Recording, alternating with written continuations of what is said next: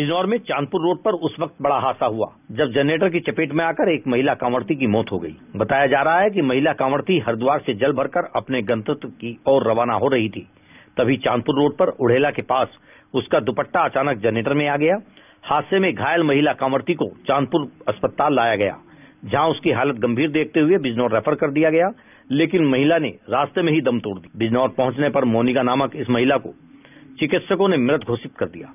इस घटना के बाद मोनिका के परिजनों का रो रो कर बुरा हाल है। बिजनौर से तुषार वर्मा की जवाहर आँखों का अस्पताल, बिलेजर सेंटर, यानी सुरक्षा, आधुनिकता व किफायती इलाज का अद्भुत संगम, जो निरंतर पहुँचा रहा है। आधुनिक व सर्वोत्तम तकनीक आम आदमी तक। सफ़ेद मोतिया का ऑपरेशन अंतर्राष्ट्रीय फैको तकनीक द्वारा, यानी मोतिया बिंद का सफल, सुरक्षित व किफायती इलाज, बिना चीरे, टाके व बिना पट्टी के दर्द रहित तकनीक से और तुरंत छुट्टी। इस तकनीक में सफ़ेद मोतिया को आँख के अंदर ही खोलकर एक बारीक सुराख के ज़रिए निकाला जाता है। व इसी सुराख से आँख के अंदर विभिन्न प्रकार के लेंस प्रत्यारोपित किए जाते हैं। अब ज़्यादा बेहतर निगाह व ज़्यादा सुरक्षा। जवाहर आँखों का अस्पताल अनुभवी व कुशल सर्जन के द्वारा चलाया जाता है। जिनके हज़ारों सफल ऑपरेशन ने अस्पताल की ख्याति दूर दूर तक पहुँचा दी है।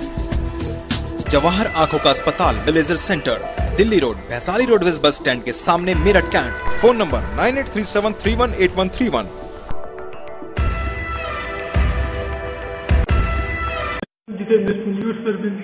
Jitendra ji बताइए जो डेथ हुई क्या है कैसे हुई? हम एक बार तक कवर लेकर थे लड्डन के में थे।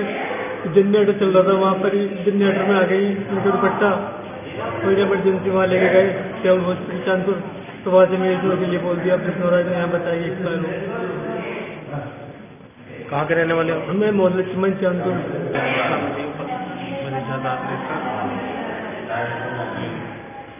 ये मोनिका नाम की ये लड़की थी ये मोहल्ला चिम्मन चांदपुर की रहने वाली थी।